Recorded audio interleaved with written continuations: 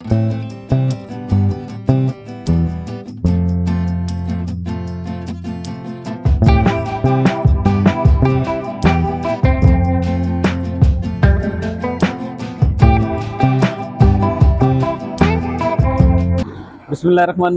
अस्सलाम नाजरीन।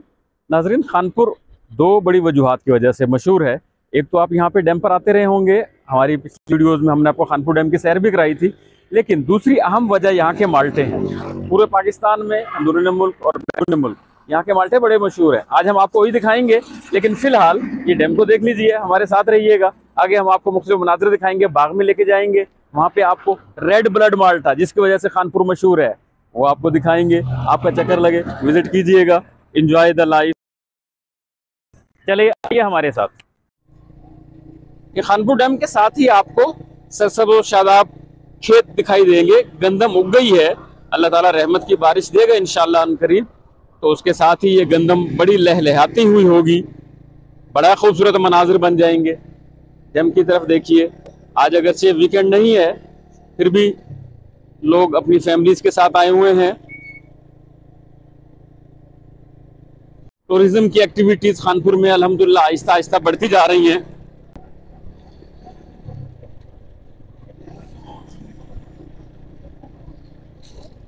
जो ही सर्दियों का मौसम आता है, बल्कि सर्दियों के मौसम के आने से पहले ही यहाँ पर माल्टे के स्टॉल्स लगने शुरू हो जाते हैं।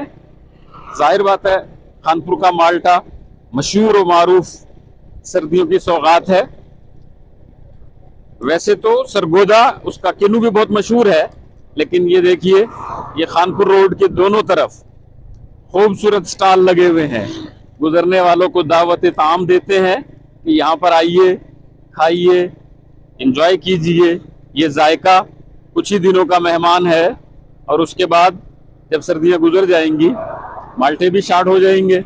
माल्टे मिल तो जाएँगे आपको, लेकिन वो स्टोर के माल्टे होंगे और स्टोर के माल्टों का टेस्ट वैसा नहीं होता है। मौसम सर्दी का हो और ऐसे में धूप निकली हुई हो और माल्टे सामने पड़े हों और माल्टे भी रेड ब्लड माल्टे।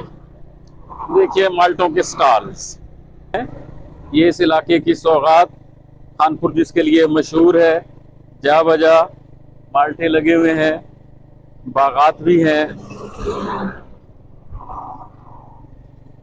बाग का माल्टा भी है। नाजरीन, बाग में जाकर वहाँ से माल्टे खाने का अपना ही मज़ा है। तो आज हम आपको लेके चलते हैं। पंचकट्ठे का इलाका है और इसकी ज़मीन मशहूर है माल्टों के लिए। और ख़ास तौर पर रेड ब्लड माल्टा।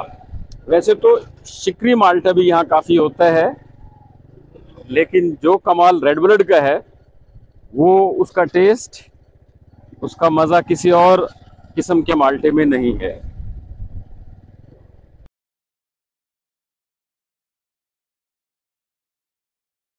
नाजरीन, जैसे कुछ देर पहले मैंने आपको बताया था कि बाग में जाने का, उसकी सैर करने का और वहाँ से माल्टे देखकर और खाने का अपना ही मज़ा है। तो आज हम आपको, हमारे एक दोस्त हैं शाहिद साहब, और उनके जानने वाले, उनका बाग है ये। ये देखिए एक एक दरख्त पे माशाल्लाह कितने कितने फल लगे हुए हैं। अल्लाह ताला इसमें मजीद बरकत दे।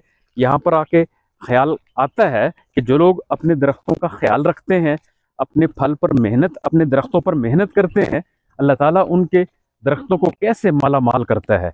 इन दरख्तों को देखिए माशाल्लाह मुख्तलिफ़ किस्म के इसमें माल्टे लगे हुए हैं। हम इनसे पूछेंगे यहाँ के जो मालिक हैं कि ये किस किस्म के माल्टे हैं?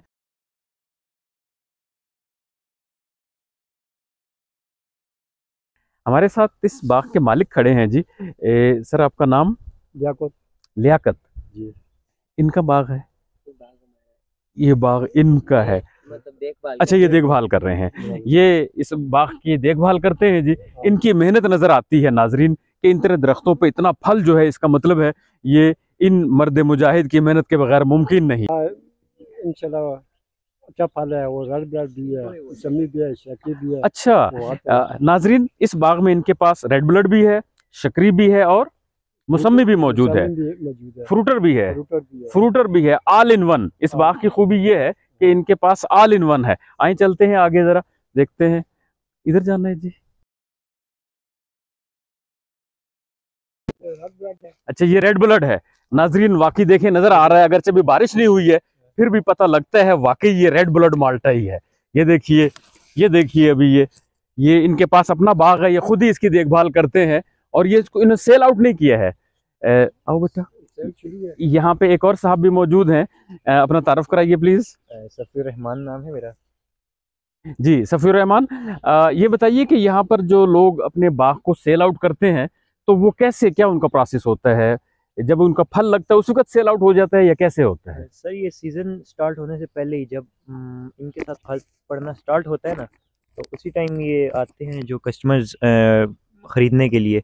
मतलब वो डिफरेंट ऑफ़र करते हैं जिसकी ऑफ़र सबसे मुनासिब लगे उनको तो वो फिर सेल आउट कर देते हैं। ये बताइए कि इस साल फल कैसा है?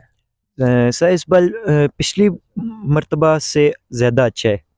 माशाल्लाह अगर से बारिश अभी नहीं हुई है। और बेटा यहाँ पर हमारे पास जो इस बाग के मालिक हैं उनका बेटा है। इससे पूछते हैं ये क्या कहते हैं? पहले अपना तारुफ कराइए बेटा। अस्सलाम वालेकुम बिस्मिल्लाह। मेरा नाम सैयद एजन हुसैन शाह बुखारी है।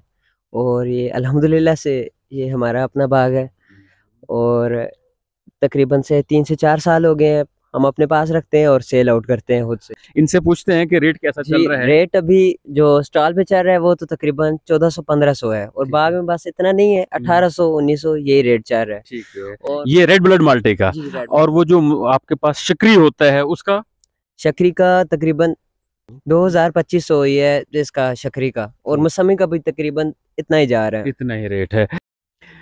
नाजरीन ये भी दरख्त देखिए रेड ब्लड का दरख्त है और इस पे माशाल्लाह पता नहीं कितने माल्टे लगे हुए हैं। ये हम पूछते हैं इजन से ये बताएगा इस पे तकरीबन ये आपका क्या अंदाज़ा क्या कहता है जिस दरख्त पे कितने फल लगा होगा? तकरीबन अल्लाह के हुक्म से 500 600 दाना होगा। माशाल्लाह यहाँ पे कह रहे हैं तकरीबन छह सैकड़ा।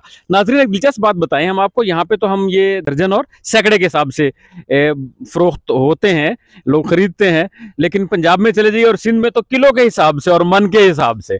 मज़ा आ जाता है जरा डिफरेंट स्टाइल के साथ।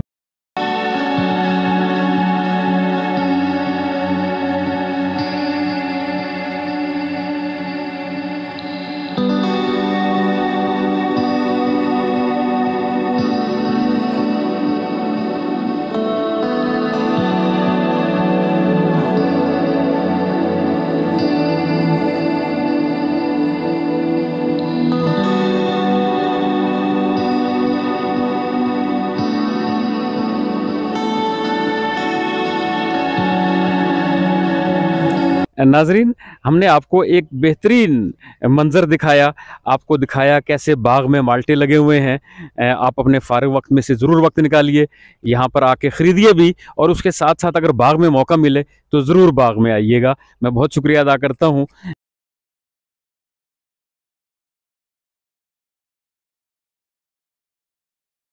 नाजरीन, अगर आपका भी दिल करता है कि हमारी तरह ही बाग में आके और इसी किस्म के बाग में आके कुछ ने आपने रेड ब्लड माल्टा खाना है तो डिस्क्रिप्शन में हम दे देंगे।